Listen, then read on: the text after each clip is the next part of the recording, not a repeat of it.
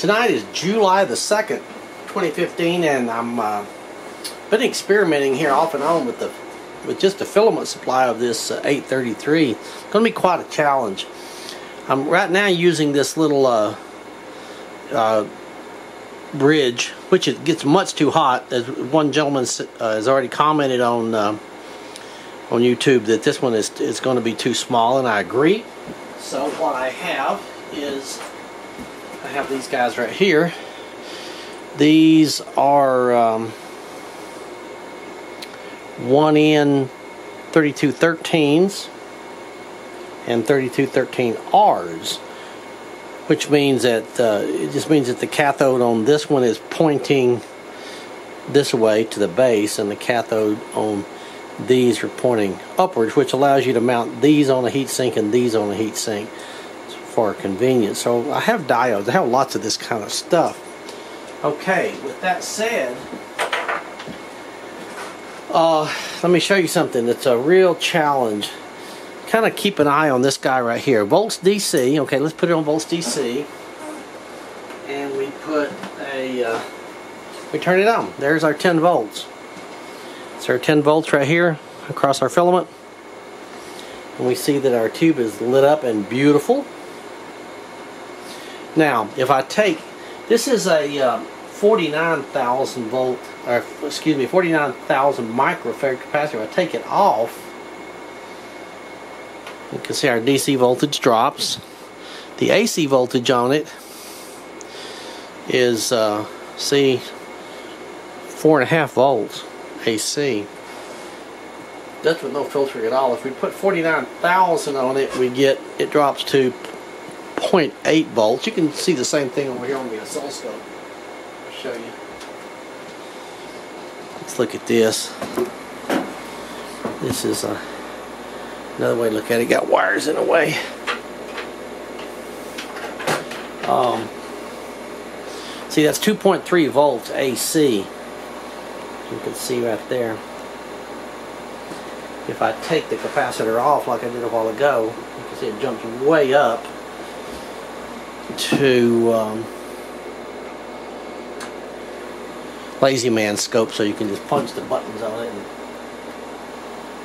and uh, delta time you know, volts and we move these guys like that and then we measure the voltage. See it's 13.7 volts a ripple which is what you expect. It's just unfiltered AC putting the 49,000 back across it drops it considerably down to that 2.3 we had a while ago.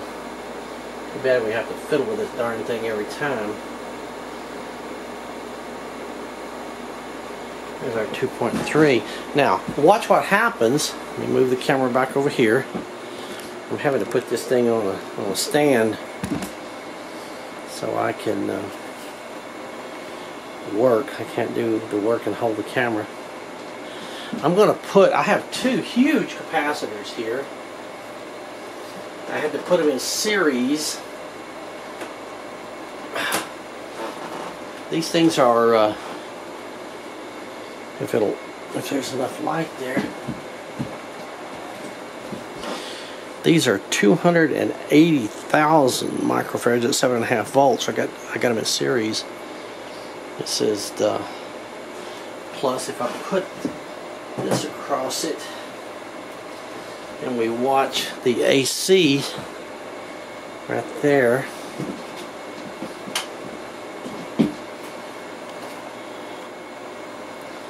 It'll drop. It'll drop considerably.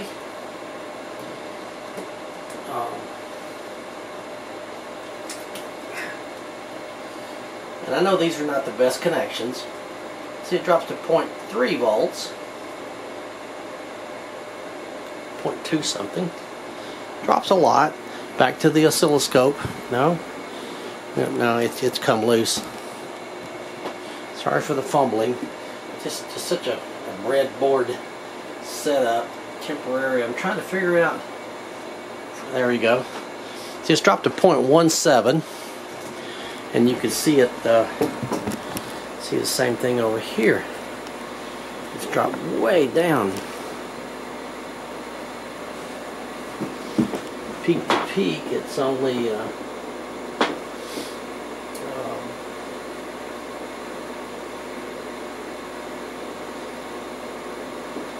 half a volt. But wow, that takes a lot of capacitance across the uh, the filament.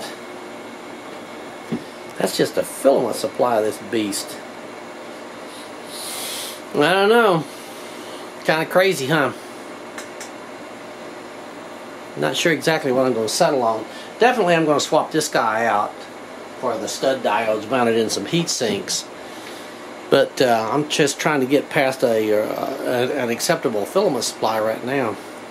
I might want to show you something else here. I hope that you'll find interesting that all of you may not know.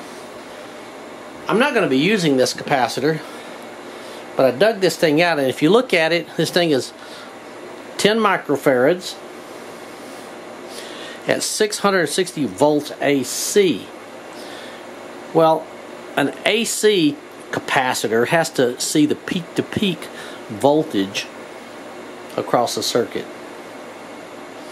So it's 660 volts AC.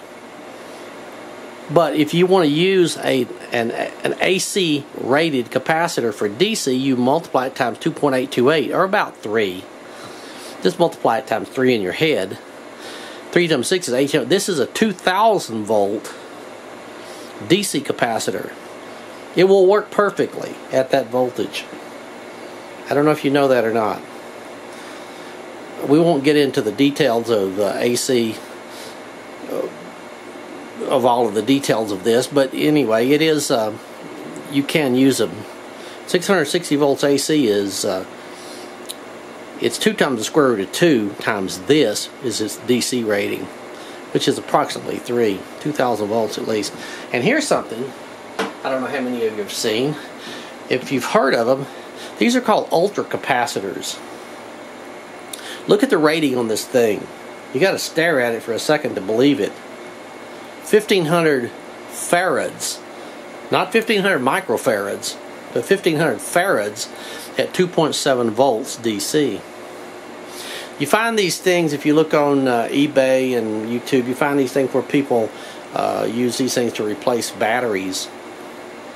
They can hold an enormous charge. In charging one of these things up, you can't just simply put a charger across it.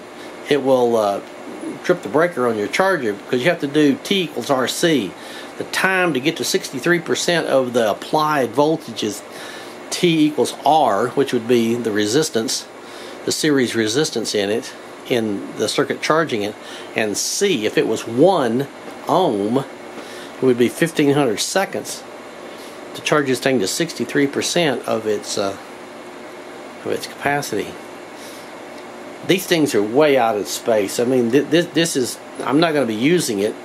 If I had, mm, let's see, for 10 volts, I'd have to have uh, uh, like six of them in series, right? And it would be one sixth this capacitance, but it would be six times this voltage. But that that wouldn't work. This would be way, way, way too much capacitance. I can't put this thing across it. I don't even know why I'm showing you that, except I find these things so interesting. I used these things just an experiment when I was out at Fort Bliss right before I retired. Another complete story. But there we go. I'm trying to document every small little aspect of the building of this over-the-top amplifier. I'm going to unplug it here. This, this uh, rectifier is getting really hot and I can smell it. Um, this uh, project was inspired by a gentleman that I communicate with on uh, YouTube named Marco. And I'm uh, hoping that he will find all of this useful and build his own and maybe even post some of his own results. But right now, I'm in the uh, still in the process of just determining what is a good filament supply and how much capacitance I need across it and where is going to be the uh, point of diminishing returns as far as uh, as capacitance grows. I'm probably not going to mount a couple of these monsters in there like this but I may need something like 100,000 microfarads to reach a, a reasonable point.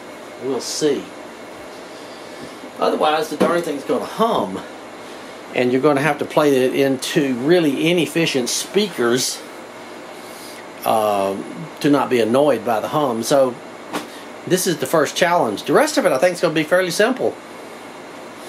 I mean, power supplies, high voltage power supplies are high voltage power supplies, and so on. Anyway, I'm just trying to document every little aspect of this and um, hope that it helps others in building their own.